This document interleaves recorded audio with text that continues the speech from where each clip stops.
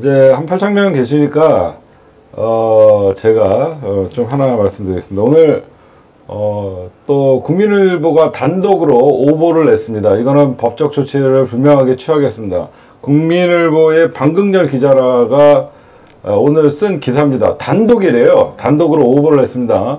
조국 집회 20억 모은 개국본 법인의 한, 회비 한 푼 이전 안 했다. 어, 한마디로 개국본이 사단법인이 설립될 때 그 전에 있었던 잔액이 한 푼도 이전이 안 했다라고 이런 기사를 썼는데 어, 취재가 안 되면 방금열 기자가 여기 찾아왔었어요. 근데 저희는 분명하게 얘기했습니다. 국민일보를 신뢰하지 않는다. 당신들에게는 취재할 어, 취재에 응할 마음이 없다라고 해서 어, 그 저 기사를 읽어보면요 전체가 다 틀려요. 그리고 무얼 얘기하려는 기사인지 모르겠어요. 헐뜯는 이거 첨삭지도가 필요한 기사입니다. 그러니까 제가 그렇고 뭐 이종원 대표 사비로 개국본 출연금을 냈다. 그것도 틀려요. 그래서 자기 돈이니 자체를 뭐- 잘 알겠죠. 그렇죠. 이게 어떻게 된 거냐면 어 여러분들 알다시피 뭐 곽상도 의원실을 통해서 서울시로부터 자료를 받았다라고 나오는데 아주 쉽게 설명해 드릴게요. 여러분들 알다시피 서초동 개국본 촛불 집회 때 회비 통장은 이름이 예금주가 김희경 씨였어요. 김희경 씨였기 때문에 사단법인 출연금으로 김희경 씨 이름으로 할 수가 없었어요. 왜냐면 대표, 대표가 저니까. 제가 대표가 되려면 사단법인 출연금이 먼저 제 통장에 갔다가 제 이름으로 출연이 돼야 되는 거예요. 그래서 저희가 김희경 씨 그 개국본 회비 통장에서 사단법인 출연금 4천만 원 하면서 제 통장으로 보내요. 제 통장으로 보냈다가 제가 그거를 어, 사단법인 출연금이라고 하면서 갖고 있다가 서울시에 제출한 거예요. 이게 무슨 말이냐? 두 번째, 쟤네들이 얘기하는 개국본 그전 회비를 한 푼도 사단법인에 출연 안 했다. 무식한 거죠. 멍청한 거죠. 사단법인이 나와야지 통장이 생기죠. 이해가 가십니까? 사단법인이 나와야지 그 사단법인의 통장이 생기잖아요. 사단법인을 만드는 과정에서 어떻게 사단법인에다가 돈을 넣습니까? 더, 아, 욕할 뻔했네요. 안 그래요, 여러분들? 사단법인이 만들어져야지 사단법인 통장이 나오잖아요. 근데 사단법인을 만들기 위해서 출연했던 돈이잖아요. 그래서 단 한 푼도 사단법인 돈, 그 개국본 김영, 김희경 씨 통장에서 개국본으로 이체를 안 했다? 이체 다 한 거 보여드릴게요.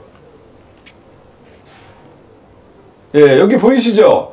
자, 여러분들 보이는 게 이체 출금해갖고 2월 5일 11시 52분 김희경 사단법인 개혁 국민운동본부 출금액 1억 5,498만 원 전액 전부 사단법인 개혁 국민운동본부로 통장이 만들어진 다음에 전액을 이체한 증거가 있어요. 잔액 빵 보이시죠? 김희경 씨 그동안 개국본 회비 통장은 잔액이 빵. 2월 15일 날 드디어 사단법인이 설립되고 통장이 나와야지 이체를 하지 이 도라이들아. 어? 보이시죠? 저희는 이체를 다 했어요. 개혁 국민운동부 검찰 어. 어, 네, 저한테 화면을 넘겨 주세요. 여러분들 이해가 가십니까? 무슨 사단 법인이 있어야지 통장이 나오잖아요.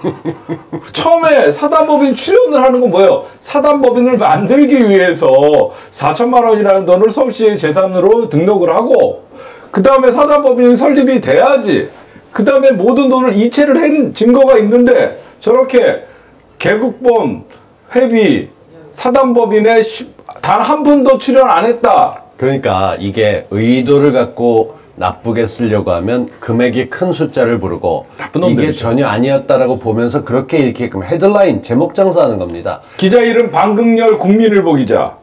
참나 기가 상식 아니에요? 뭔가 통장이 있어야지 이체를 할 거 아닙니까? 그러면 통장이 있으려고 그러면 사단법인이 만들어져야 되잖아요. 네. 사단법인이 만들어지지도 않았는데 어떻게 이체를 합니까? 어디서 서울시 재산 목록되어 갖고 출연금 개국본 이종원 대표가 기부금 형식으로 했다? 내 돈 아니야 그거. 난 기부한 적 없어 4천만 원. 그것도 다 개국본 회비야. 취재를 좀 해. 응?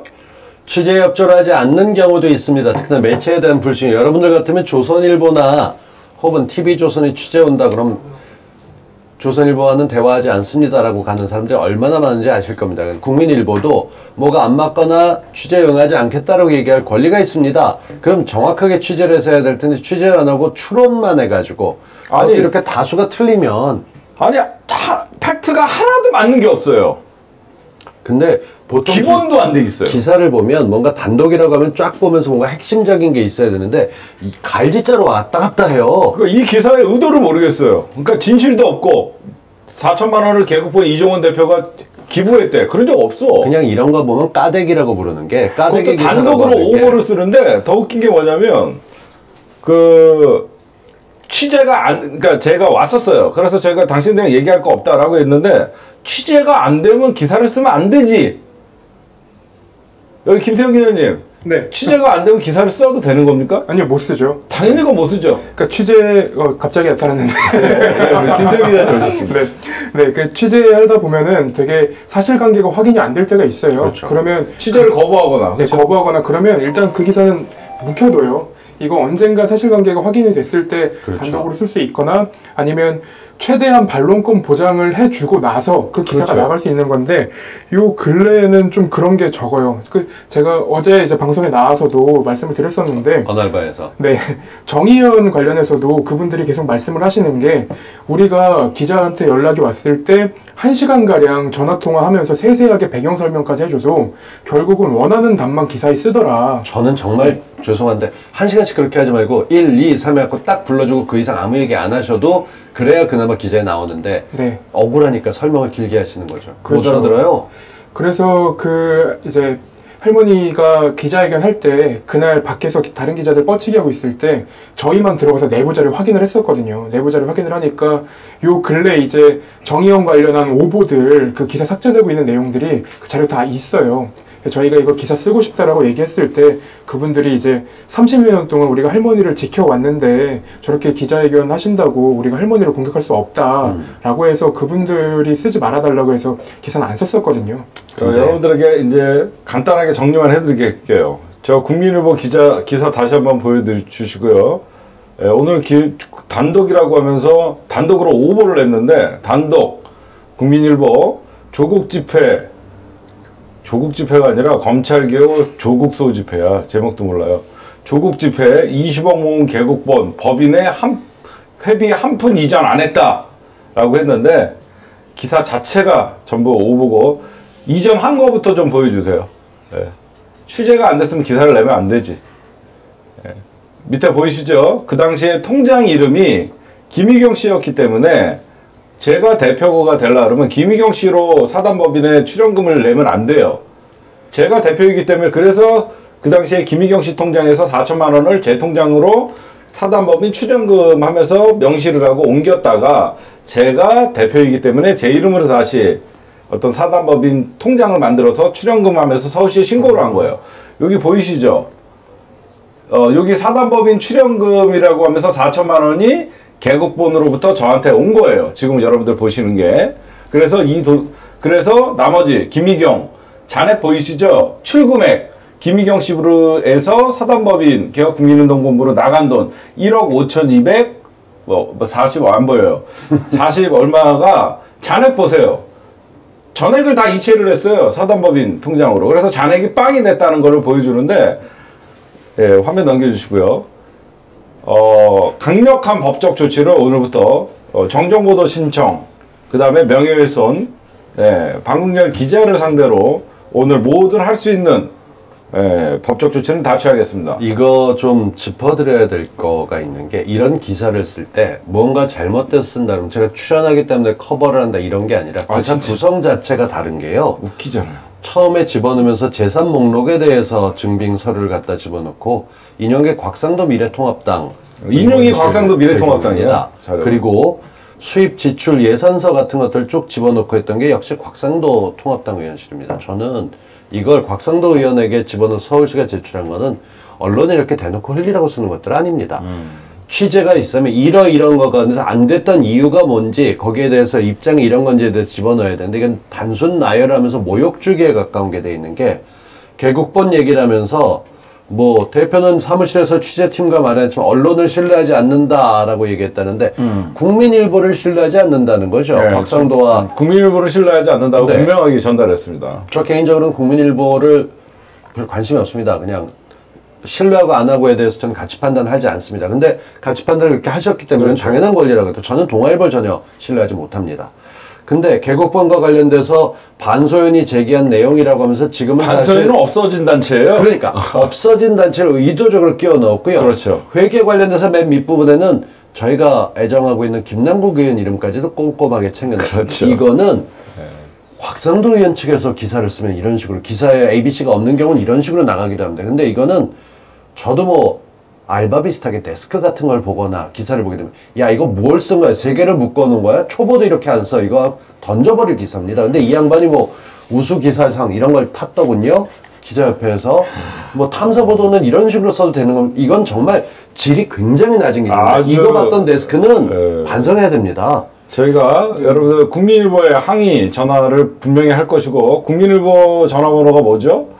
예, 하여튼 저는 정말 이해가 안 가요. 방극열뿐만 아니라 지- 저 이해가 안 이- 돼. 개국본이 무서운가 봐요. 아니 요즘은 블로그도 이렇게 안 써. 아니 근데 이 기사 기사 지금 보고 계시죠? 기가 기- 막히죠. 기, 기사를 보고 있는데 출처가 어, 곽상도 의원실에서 준 자료밖에 없어요. 맞아요. 저는 항상 그래요. 그러니까 이게 저희가 지가 취재한 건 아무것도 없는 거야. 저희가 전에 그거 한번 깐 적이 있거든요. 그러니까 원소스 한 군데서만 나온 자료는 쓰레기다. 그걸 받았으면은 음. 그래서 저희가 검찰 그 기사만 쓰는 것도 비판을 한번 했었고 근데 이렇게 돼버리면은 어 이거는 기사 가치가 있을까라는 의심이 그러니까 기사 가치가 없는데 단독이라고 다는 자체가 뻔뻔한 것 같고 웃긴 거는 아 무슨 내용이 하나라도 맞아야지. 제가 지금 반박 그대로 다 해드렸으니까 한번 정정 보도를 하시든가. 어쨌든 법적 책임을 지십시오. 반소연에 대해서 뭐가 어떻다 이런 게 있다라고 얘기했다. 촛불 시민에 감사를 해라. 뭐 자료를 보여주지 않았다. 적당히 한 단어만 빼놓은 왜곡이 되는 경우가 있습니다. 그렇죠. 국민일보 같은 언론은 신뢰하지 못합니다 했다면 국민일보 같은만 빼놓고 언론을 신뢰하지 못한다면 언론을 못 믿는 사람처럼 만들어 버리는 것이고요. 지금 같은 경우도 온라인으로 통장 공개하는데 그 함부로 못합니다. 개인정보 들어있으면 골치 아파지는 거고 그 대신 와서 방문하고 회원에 대해서 회비에 대해서 할 수 있지만 모든 언론이 와서 장부 들여다보게 하는 것들 어떻게 왜곡될지 모르는 상황이 쉽지 않으니까 이쪽에 대해서 협조하지 않을 권리도 있습니다. 근데 해놓고 이 회계를 공개해야 되는 게 아니고 지정 기부금 단체가 아니니까 회계를 공시할 의무가 없다. 의무 없는 것도 개국본에게 책임지라고 하는 것 같은 느낌. 더 웃긴 거는요. 이그 기사 막바지에 보면요. 개국본은 투명하게 회계를 공개하고 있지 않대요. 제가 늘 얘기하잖아요. 저희는 항상 여기 입출금 내역까지 다 뽑아놨어요. 그래서 와서 확인한 적 있습니다. 예, 우리 김태형 기자한테 사실 제가 이거 모든 진실을 다 기사화 좀 시켜달라. 이분한테는 믿을 수 있으니까 하려는데 일부러 안 했어요. 아는 사람한테 기사 써달라는 거죠. 일부러 김태형 기자도 저희 입출금 내역을 본 적이 있습니다. 네. 여기 밖에 계신 분들도 언제든지 제가 보라고 다 만들어 놨어요. 취재를 안 해요. 어? 그래 놓고 또 끝에 김남국을 끌어들여요. 그게. 제일 치열, 치졸한 게 곽상도 의원실을 갖다가 자료를 출시를 썼으면 상대당 초선 의원을 데려다 쓴다는 것 자체가 그리고 곽상도가 조국 집필 이쪽 관련돼서 씹었던 걸 알고 있는 쪽 기본이 안 돼 있는 데다가 이거는 또 다른 전 기자가 생각나는 기사의 모습을 보여줍니다. 이게 이런 식으로 비열하게까지 기사 쓰는 거. 기사에 관통하는 맥락도 없고 그냥 개국본을 나쁘게 말하기 위해서 모든 사실을 그렇죠. 끼워 맞췄는데 이렇게 긴 기사가 요즘 블로그도 이렇게 안 쓴다는 얘기를 제가 하고 싶은 게 블로그도 이렇게 쓰면 구독자 떨어져 나가요. 이게 뭐예요, 정말? 여기가 더 웃겨요. 개국본은 회계 논란과 관련해 무슨 논란? 그 반서요? 잠깐 만들어졌다가 없어진 단체 저희가 고소했어요. 찾으려고 누가 만들었는지. 그리고 뭐 투사모 뭐 우리를 뭐, 뭐 회계를 뭐 공개하라고 난리 쳤다가 그 사람 지금 구속돼 있어요. 뭐 본인 얘기로는 다른 사건에 연루됐다고 다른 사건이 알아봤더니 채널에 뭐 기존 그 방송하기 전부터 돈 관계가 복잡해 갖고 결국은 사기건으로 법정 구속됐죠. 법정 구속돼 있어요.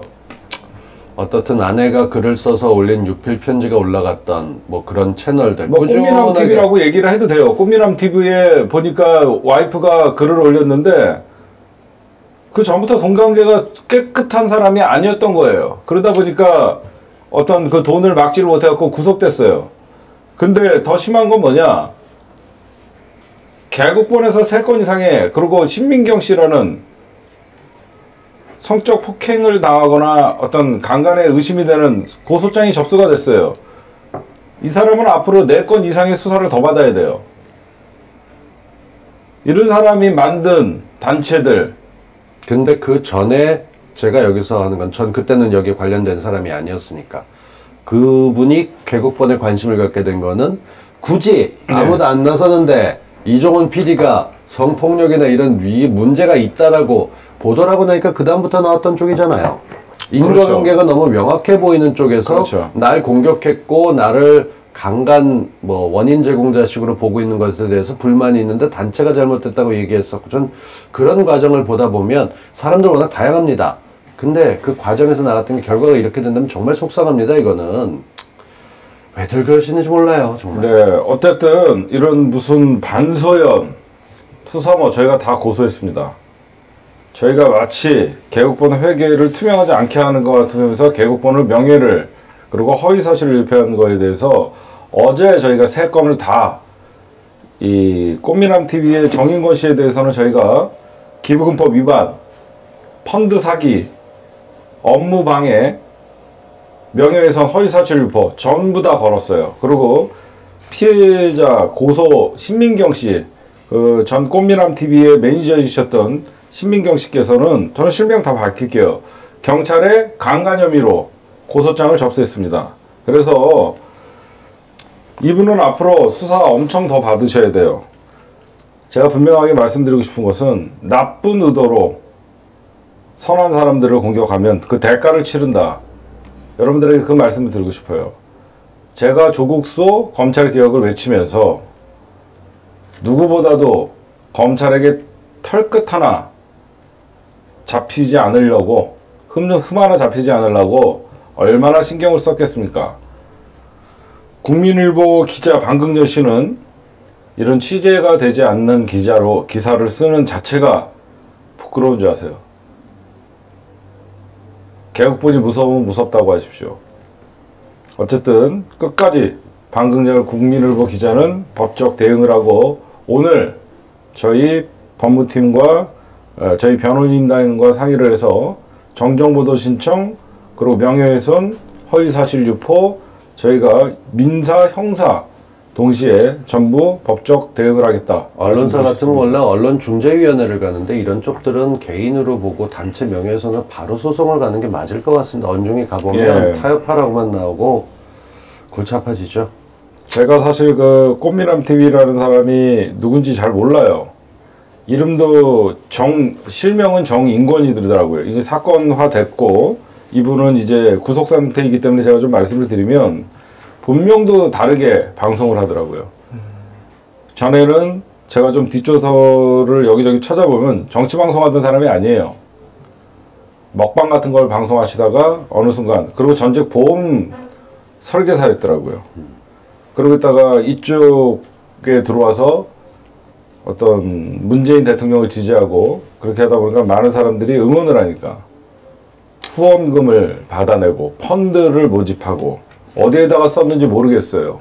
초창기에 제가 많이 참았습니다. 많이 참았고 끊임없이 개국본을 음해하고 그래서 저는 조용히 법 법정 어, 법 법으로 대응을 했습니다. 그래서 사실 제가 할 말은 많았지만 그동안 많이 참았는데 어 그리고 이분이 최근에 어, 제가 조사를 해보니까 좀 민주 진보 진영에서 떴던 이유가 유재희 씨를 저격, 저격을 하면서 어, 이분이 방송에서 아 유재희 씨 하면 우리 측에서 뭐, 뭐 변절자 이런 이미지가 있으니까 시원하다 그러면서 유튜브 구독자를 좀 모았더라고요. 근데 그 유재일 씨를 저격하게 된 내용을 제가 좀 취재를 해보니까 그 방송 매니저들이 컨텐츠도 없고 정치를 모르니까 지금 뭘 해야 되겠냐라고 매니저들과 상의를 했대요. 상의를 했는데 매니저들이 요즘 유재일 이상하게 나가니까 어, 유재일을 공격하는 게 어떠냐라고 얘기를 했답니다.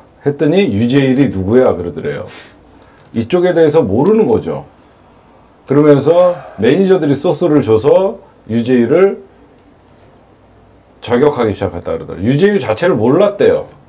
이 방송 진행자가 정인권 씨라는 분이. 그래서 현재 정인권 씨는 과거 본인의 어떤 금융 어떤 행위에 어떤 이거는 분명히 어, 변, 그 아내의 글을 보면 뭐 변제를 못해서 하려 그러다가 노력을 했지만 어, 구속됐다라고 하지만 저희 같은 전문가들이 볼 때는요 정상적인 금융 거래를 통해서 빚이 졌다 그래갖고 구속되지 않습니다. 구속되는 사유는 명백한 저희가 추측하기에는 사기성이 강한 어떤 돈 거래가 있었기 때문에 사기건으로 고소 고발을 당했고 그 돈이 피해 금액을 변제해주지 못했기 때문에 이런 사건은 구속이 되는 거예요.